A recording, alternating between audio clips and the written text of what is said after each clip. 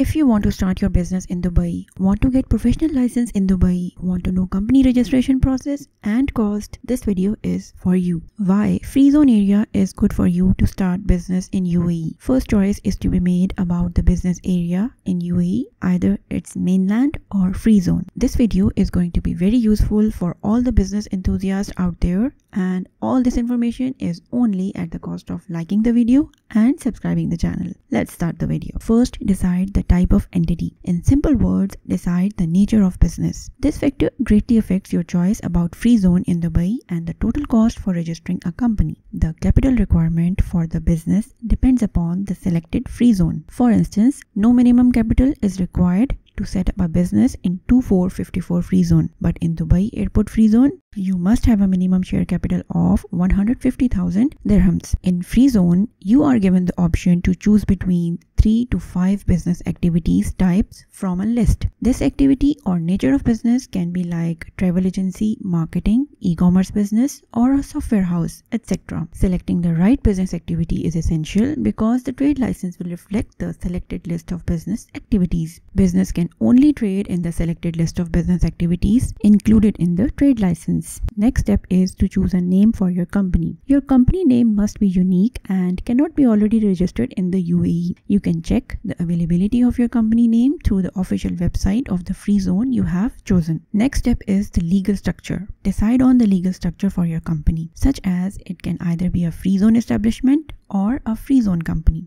The basic difference between these two is FZE requires only one shareholder and FZCO demands more than one shareholder. Previously, there was the rule of 51 to 49% ratio in partnership, whereas 51% used to belong to local Emirati partner. But now this rule is abolished and 100% ownership is given to expats. The next step is to prepare the necessary documents to initiate the registration process. The required documents may vary depending on the free zone, but generally you will be needed to provide these documents. Number one is passport copies of the shareholders and directors, proof of address of the shareholders and directors, a copy of the shareholders agreement, a copy of company's memorandum of association and articles of association. Approval of your company name and preparation of these documents will cost you. On average, company name approval will cost you around 650. Memorandum of association and articles of association will cost you around 300 for each company immigration card or establishment card would cost you around 650 dirhams. Labor card cost would be around 250 to 3450 dirhams depending upon the type of company. If you hire a PRO, their service fee generally range between 1000 to 5000 dirhams. Now let's talk about office space. Free zone authorities offer a flex desk office to support the startups. You can lease or buy office space in these free zones.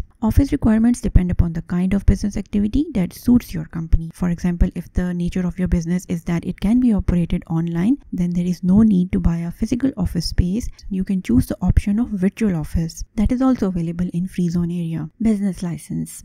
Once your application is approved, obtain the necessary license for your chosen business activity. The cost of business license varies according to the nature of your business. This cost also fluctuates on daily basis. It's important to consult relevant agencies to help you in attaining business license as they can better guide you in saving your cost. Business license fee is generally between 5000 to 20000 depending upon business quota. Business quota is the number of visas that can be issued by your company or in simple words you can say quota is the number of employees or partners in your company. Some people sell these quota later on as a freelance visa. It is also important to consider that in some free zones, license cost might be lower but office costs higher. In some free zones, visa costs are higher although other costs are lower. Some free zones offer helpful packages that include many of the elements like registration, license and office space bundled together at competitive rates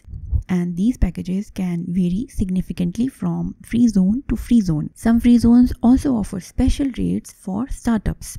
So a thorough research of free zones is very important before initiating the process of company registration. Now let's talk about the documents that you received after registering the business with the free zone authorities. Memorandum of Association, articles of association, co-working lease agreement, company formation certificate, share capital and business activity certificate. Now you are at the stage to apply for the UAE resident visa for the investors. Apply for the UAE residence visa for the investors soon after the company documents are approved and trade license is available. The investors or businessmen who intend to invest a business in the UAE are eligible for a long-term residence visa. Visa cost on average is 3500 but it might vary depending upon the free zone. At this point some other costs are to be paid. It is medical test costs which would cost around 870 emirates id cost that would cost you around 370 medical insurance fee that would cost you around 1000 all these costs are average costs and 10 to 20 percent increase or decrease is possible depending upon the free zone and the nature of business you have selected